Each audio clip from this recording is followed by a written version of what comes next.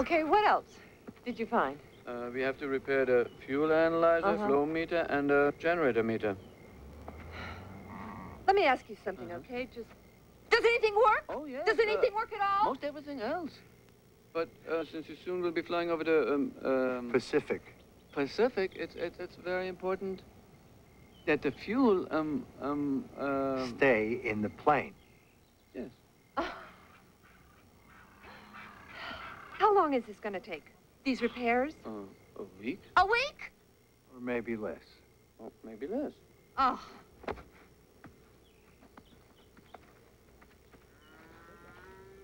Maybe more.